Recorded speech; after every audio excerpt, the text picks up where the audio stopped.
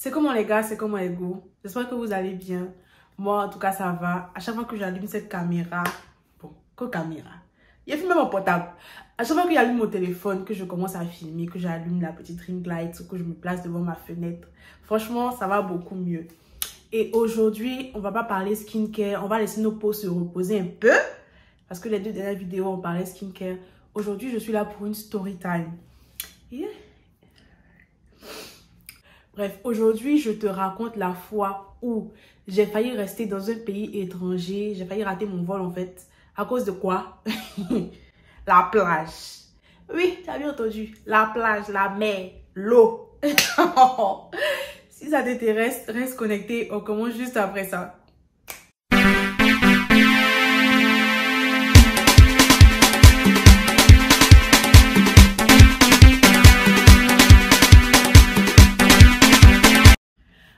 Ce voyage-là. Il y a eu trop de choses autour des petits voyages, des petits voyages spring break qu'on voulait faire là. D'abord, on était parti pour 5 jours, il a fait 10 jours de plus, je suis restée en quarantaine. Si tu sais pas de quoi je parle là, faut checker cette vidéo là. en fait, d'abord, on devait partir, on devait partir à Majorque. On, on devait faire 5 jours. Après, on a fait plus de temps. Je suis restée 10 jours en quarantaine. Le jour où on dit, qui Ali, c'est bon, ton test est négatif, tu peux partir, va chez toi. Genre, va, retourne, retourne dans ton pays. Bon, retourne en France et tout. Va à l'école. Je fais ma valise, tout, tout, tout, tout, tout. Et je sors, je sors de l'hôtel où on était enfermé. Oui, enfermé je veux traverser pour aller prendre le bus pour, euh, pour aller à l'aéroport parce que euh, on avait, genre c'était peut-être, sortie 2h30 ou 3h avant le check-in en fait, ou bien, oui, le check-in à l'aéroport. Et je me suis dit, bon, je vais prendre mon temps, je vais arriver, je vais attendre, c'est mieux. Donc, je sors de l'hôtel avec ma valise, mes bagages, tout, tout, tout. Je traverse pour, pour aller sur la voie pour prendre le bus. Je vois la mer à même pas 500 mètres. La plage. Il dit, hey, Seigneur. Et puis, en fait, il faisait tellement beau. Le soleil tapait, il faisait chaud. Il dit, hé hey, Seigneur, il a pas nagé, il est retourné en France. Dans le froid de la France, là. il dit, vraiment, la fille de Fatima, c'est... Ah. Il explique jusqu'à... Il, il tourne... Il maintenant une vidéo, là. Caméra, là. Il dit, quand il a vu la mer, là, mes yeux fait comme...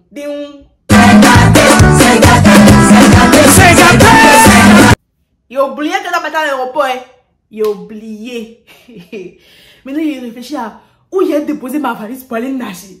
Où il a déposé mes bagages pour aller nager. C'est ça qui est dans ma tête. Il dit, ah, la fille de Fatima.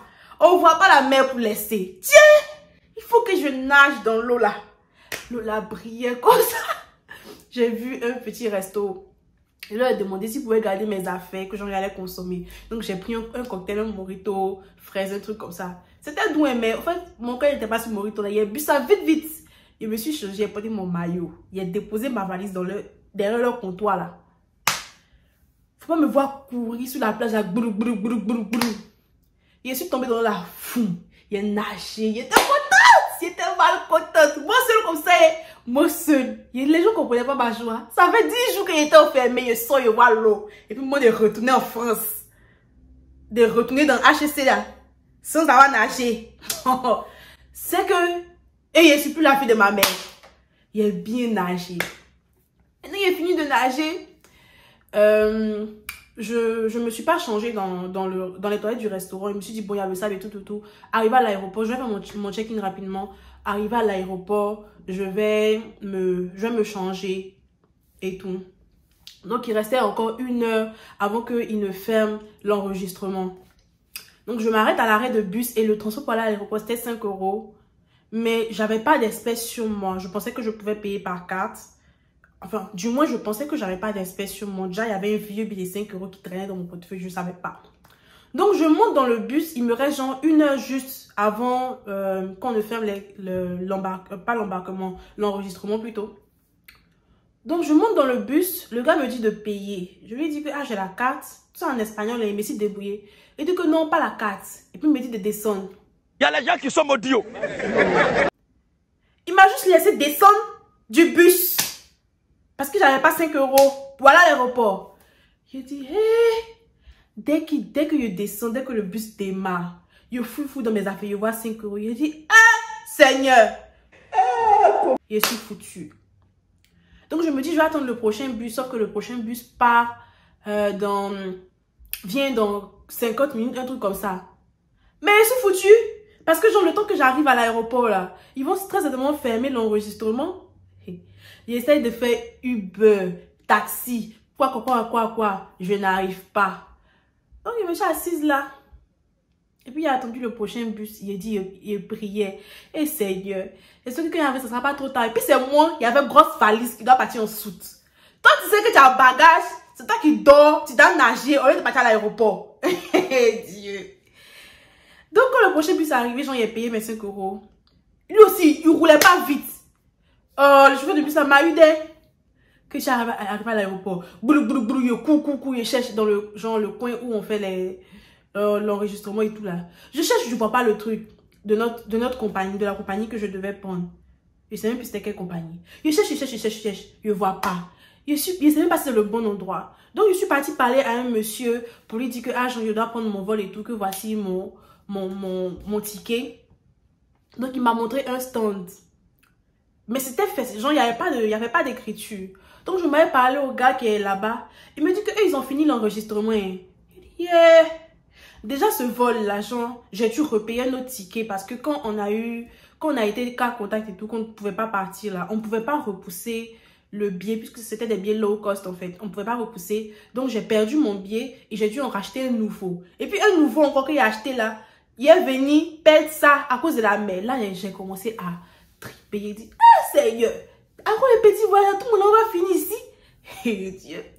Il le monsieur me regarde du genre, c'est fini, c'est fini, c'est pas son problème quoi.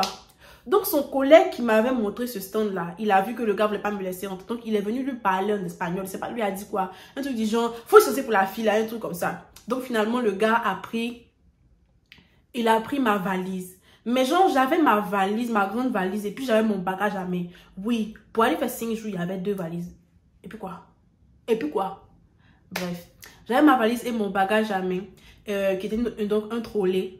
Et puis il m'a dit que euh, comme genre je dois passer encore la police et tout ça, j'en fouillé et tout là, de donner bah, mon trolley là, il va mettre en soute aussi pour me faciliter la vie. Et moi j'étais tellement stressée, paniquée et tout, je lui ai donné tout.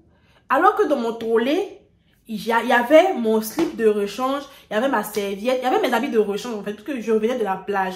J'avais encore mon bas de maillot et puis mon pantalon Africa façon là. Donc j'étais mouillée. Il y avait mon bas de maillot qui était mouillé, il y avait le sable dedans. Il y avait mon, il y avait mon pantalon et j'avais juste un petit, genre j'avais juste un petit pull et tout. Et j'étais tellement pressée en fait que il a tout mis dans la soute. Et c'est quand il arrive devant la barre que genre, il a passé toutes les formalités, il rend compte que merde, il y a ça dans mon et Dieu, il a voyagé ça dans mon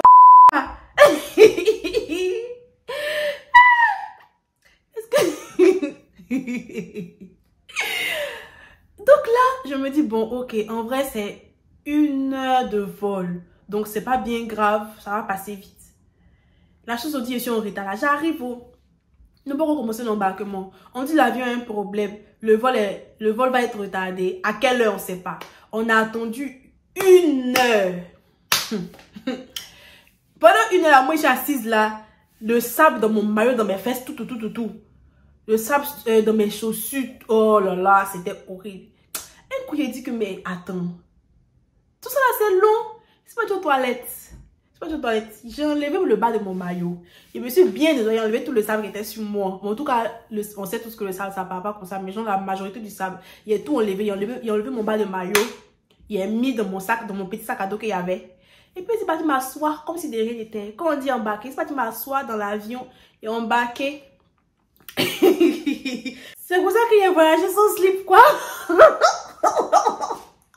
fait, bon, mais il était, quand il était assis dans l'avion, là, il rit sur le bois. En fait, ma vie me fait rire, mais c'est pas possible. Quand je suis arrivée à Paris, je me suis, couchée dans mon lit et puis je me suis dit, tiens, qui a lit Mais en fait, pas ta vie là, il y a toujours des trucs, quoi. Toi, tu es grave. Tu sais que même quand il n'y a rien, je crée quelque chose. quelle histoire de partir nager là, dans petit coin là. Tu dois prendre l'avion dans deux heures et demie.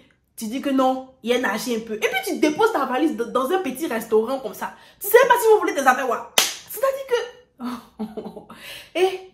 Elle dit, il a réfléchi beaucoup. Il a dit, il a vu la mer là. Si tu me demandes là, les sirènes dans l'eau là m'appelaient comme ça. Il a vu la mer, il a dit, il faut qu'il nage. Et puis le soleil tapait sur l'eau là, ça brillait comme ça. Des paillettes dans ma vie. Il dit, wouh, pas nager, c'est que c'est pas moi. Franchement, c'était quelque chose, genre, avec du recul, je me dis, mais en fait, je suis folle. C'est pas, c'est vraiment, c'est grave. Genre, je, pas, je suis pas raisonnable. Parfois, je suis vraiment pas raisonnable. C'était pas raisonnable de partir nager là. Surtout que c'était dans un pays que je maîtrisais pas. Je maîtrisais pas les oreilles, etc. C'était vraiment pas raisonnable d'aller nager, en fait. Mais bon, après, on ne vit qu'une seule fois. Et franchement, j'ai kiffé. Puis, si je l'avais pas fait, est-ce que j'allais avoir une story time à raconter aujourd'hui? Donc voilà, c'est la fin de cette vidéo. J'espère qu'elle t'aura plu. Si oui, n'oublie pas de liker, de partager, de commenter et tout, tout, tout. Et puis, qu'est-ce que tu penses de mon make-up? Genre, j'ai d'être ça. Appelez-moi Rosalie. Bref, à une prochaine fois. Bisous.